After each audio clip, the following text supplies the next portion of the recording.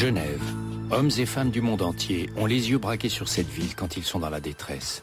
C'est ici en effet que siège l'une des plus grandes organisations humanitaires, le Comité international de la Croix-Rouge. Voilà ce que l'on connaît de la Croix-Rouge, des secouristes et des infirmières dévouées, une lueur d'espoir dans une guerre atroce. Mais ceux qui ont eu le plus besoin d'aide ont espéré en vain.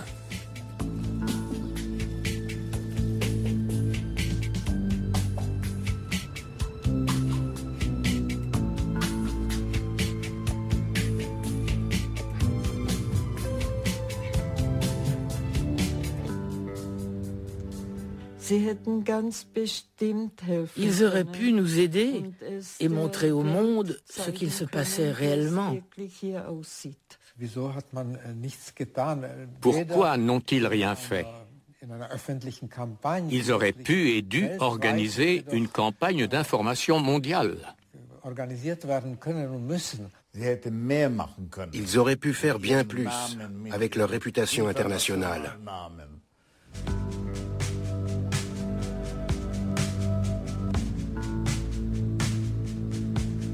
Pourquoi la Croix-Rouge a-t-elle abandonné à leur sort les victimes de la Shoah « 1933. En Allemagne, les nazis viennent d'arriver au pouvoir lorsque le Comité international de la Croix-Rouge s'installe à la Villa Moigné à Genève. C'est ici que l'on prépare une nouvelle convention. Après l'expérience de la Première Guerre mondiale, ce sont les femmes du comité qui insistent pour qu'à l'avenir, les victimes civiles soient également prises en charge. Elles présentent leur projet lors de la 15e conférence de la Croix-Rouge à Tokyo en 1934. À l'avenir, les prisonniers civils devront être protégés par le droit international au même titre que les prisonniers de guerre. Mais la décision est reportée. Ici, on ne veut pas admettre que le temps presse. En Allemagne, la persécution des Juifs a commencé et personne ne peut l'ignorer. Der jüdische Todfeind der Menschheit wird es anbeginn. Es wird Ihnen das Lachen überall vergehen. Dieses Problem wird radikal gelöst. Auch der letzte Jude wird Deutschland verlassen müssen.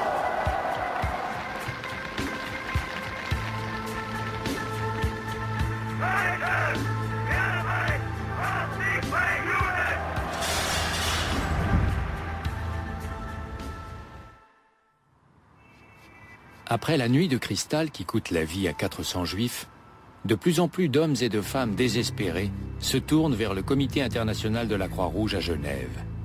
Ainsi, Max Brown écrit en décembre 1938 Dans les camps de concentration allemands, où des milliers et des milliers de juifs dépérissent au seul motif de leur origine, les conditions de vie sont particulièrement inhumaines et bafouent les règles d'hygiène les plus élémentaires. La Croix-Rouge internationale ne peut plus rester sans rien faire. Mais le CICR garde le silence. Son président Max Huber minimise le problème. Il écrit une lettre bienveillante à la Croix-Rouge allemande. Nous sommes parfaitement conscients des exagérations souvent faites à ce sujet. Pourtant, Huber sait très bien que depuis 1933, les nazis ont la main mise sur la Croix-Rouge allemande.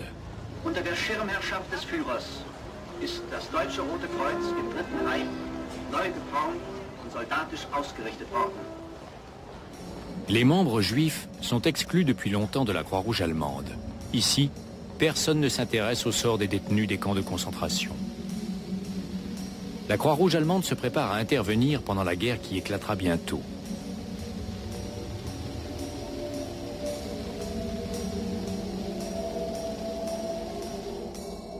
Max Huber garde le silence face à la terreur nazie.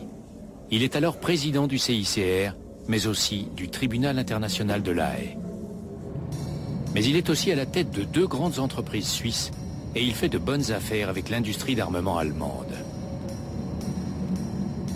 Le vice-président du comité international de la Croix-Rouge, Karl Jakob Burkhardt, se sent lui aussi très lié à l'Allemagne. Jusqu'au début de la guerre, en 1939, il est haut commissaire de la Société des Nations à Danzig. Il a rapidement oublié ses premières réserves à l'égard des nazis.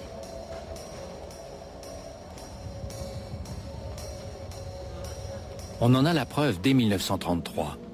Lorsque le Conseil fédéral suisse refuse d'accueillir officiellement Goebbels à un congrès de la Société des Nations, Burkhardt intervient. Il n'a aucune appréhension vis-à-vis des nazis et n'en aura pas davantage par la suite. En tant que Suisse alémanique, Burkhardt se montre dès le départ très germanophile. Il admire la culture allemande et approuve certains aspects du Troisième Reich, tels que l'hostilité vis-à-vis de l'Union soviétique.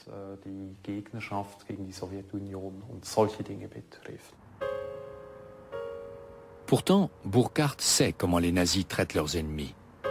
En 1935, il rencontre Karl von Ossietzky, prix Nobel de la paix, au camp de concentration d'Esterwegen. Une chose tremblante et livide. Un être qui paraissait insensible, avec un œil enflé, les dents cassées. Écrira-t-il dans ses mémoires après la guerre. En mai 1936, le Führer invite personnellement Burkhardt en Allemagne.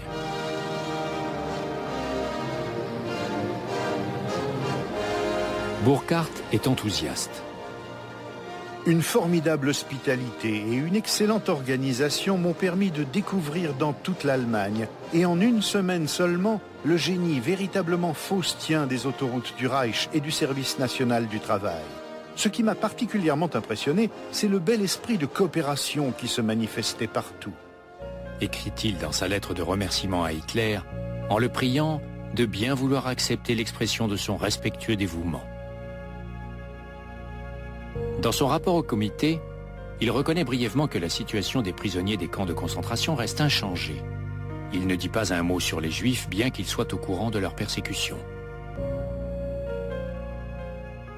Simplement parce que dans cette Europe des années 30 et 40, là, il y a une assimilation entre souvent le juif et le communiste, et le bolchevique. Et pour le CICR, pour ces élites du, CICR, cette euh, assimilation est, vraiment néfaste, tout simplement parce que ce, comité du CICR des, des années 1930 est particulièrement anticommuniste.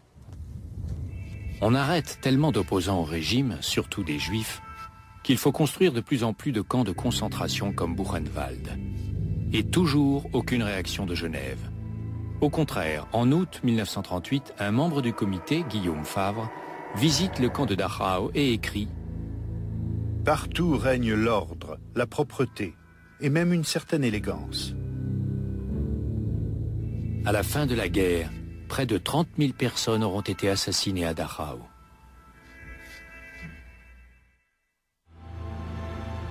Depuis l'automne 1941, les convois de déportés sillonnent l'Europe et personne ne peut prétendre ignorer leur destination.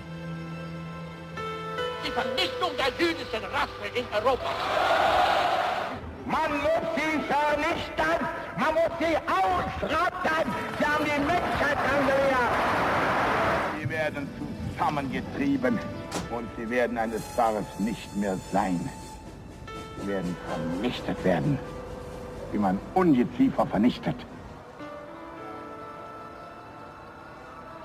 La famille Gutmann, Dolmutz, fait partie de ceux qui doivent être exterminés. Depuis 1939, le père est interné à Buchenwald.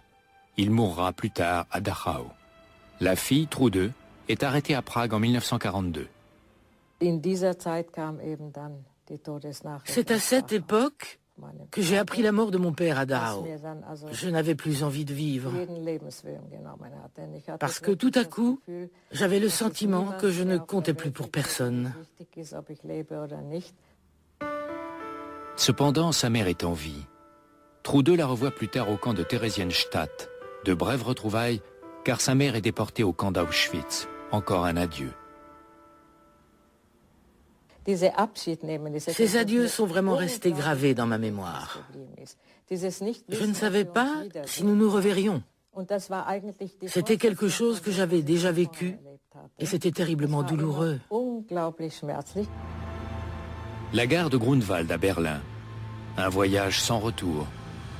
Presque chaque jour depuis l'automne 1941, les convois de déportés partent d'ici vers l'Est, sous les yeux des délégués du CICR, qui envoient un rapport factuel à Genève. Depuis novembre, évacuation systématique des Juifs. Cette évacuation s'effectue par convoi d'environ 3000 personnes chacun. Le prochain est prévu le 27 novembre.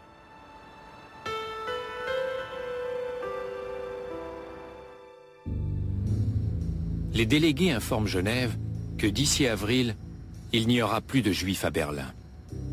Le comité international de la Croix-Rouge, installé depuis le début de la guerre à l'hôtel Métropole, ne réagit pas sous prétexte qu'il doit rester neutre et qu'il n'a pas de mandat international pour les prisonniers civils.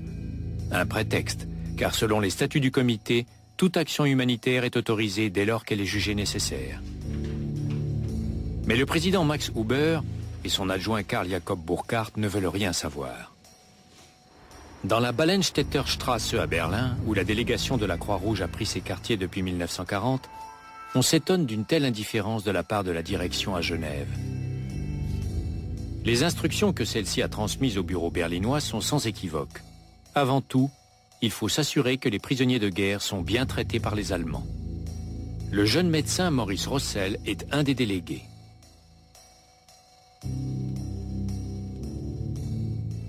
N'oubliez pas que le comité international était responsable de 6 millions de prisonniers de guerre pour lesquels des, conventions avaient été signées et qui étaient respectées dans la mesure où ils craignaient, sans ça, une vengeance sur les, leurs propres hein, ressortissants en main de l'autre côté.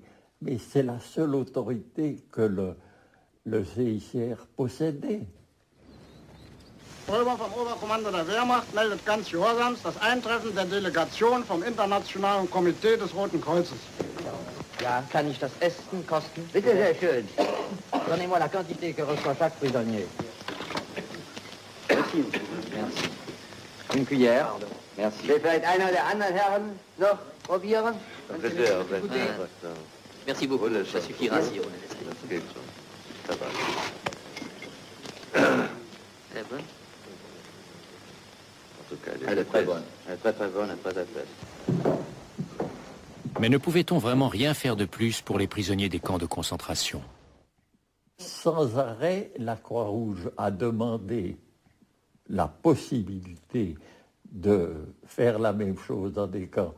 Mais l'Allemagne a dit, vous n'avez rien à voir à ça, c'est une affaire strictement national, nous ne sommes liés, et ils ne l'étaient pas liés par rien, il n'y avait pas de convention pour la protection des civils. Si la Croix-Rouge est très engagée auprès des prisonniers de guerre, elle n'intervient toujours pas en faveur des détenus des camps de concentration.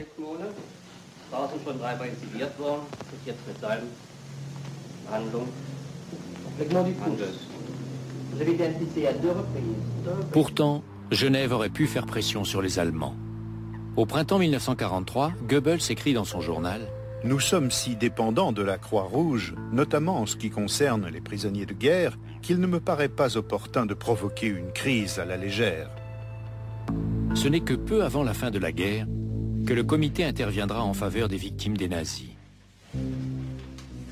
C'était ce que nous désirions parce que quand on est dans le terrain, hein, on dit mais qu'est-ce qu'ils foutent là-bas à Genève, n'est-ce pas, ces monsieur assis dans des beaux salons et tout ça? Ils ferment les yeux. Ni Huber ni Burkhardt ne veulent compromettre leur bonne relation avec les Allemands à cause des Juifs et des communistes. Il est faux de dire le CICR n'a rien fait. Des démarches ont été faites.